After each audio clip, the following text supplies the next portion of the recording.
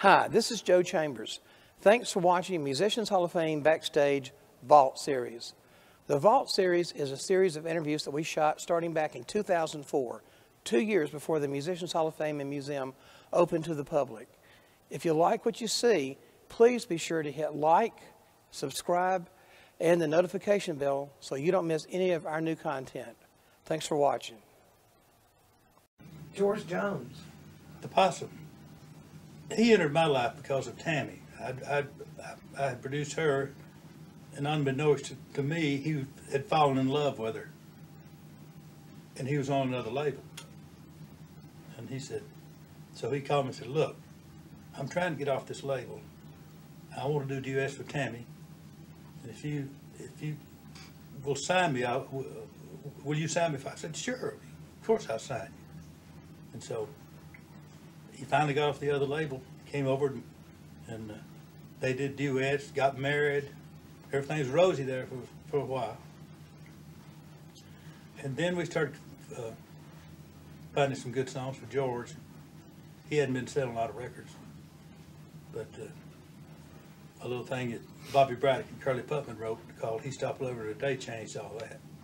So that stayed number one for about two months. Before that, though, Mike, I mean, The Door, um, the Grand Tour. Yeah, th- they were country hits. Th- this was like a like a mega thing. This this this was a career igniter, you know.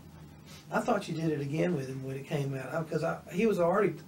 I would. I, most people considered him already to be the greatest country singer, and and then in nineteen, I guess it was eighty, was it 80, 79 I don't 80? remember. And then he and then he just he got bigger than he ever was. But Oh, he became like a cult figure and all that. Everybody liked him then, you know. okay, here's another one. Um, but this time he had to wrestle the possum on this song. Oh, he hated it.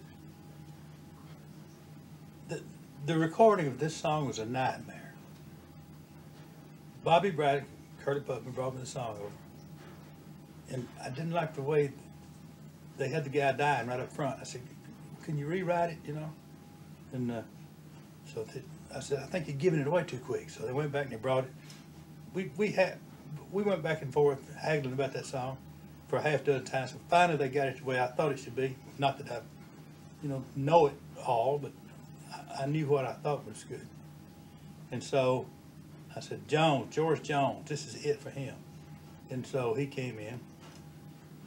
And uh, back then, Jones was kind of, he was kind of messed up with his personal life. And, and, uh, and so he came in and he, he didn't comment on it one way or the other. You know, I said, look, I'm gonna go ahead and make a track. Now, Let's figure out your key. And, and, and so he said, I, I can sing it.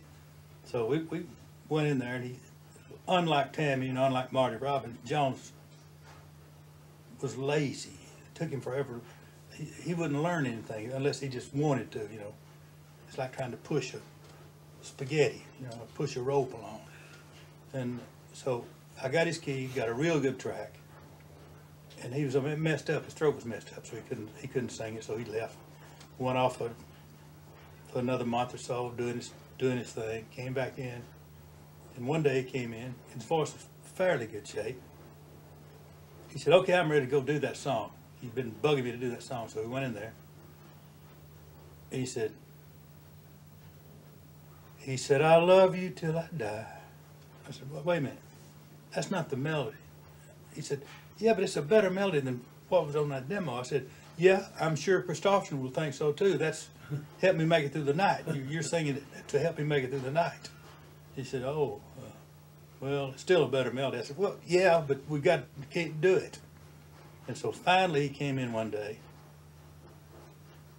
and hooked it. He was in good shape, his voice was in good shape.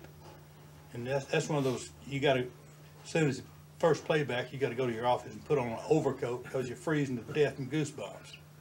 And so I knew we had one to go.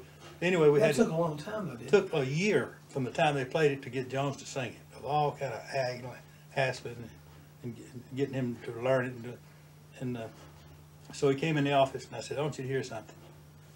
I played him the finished song.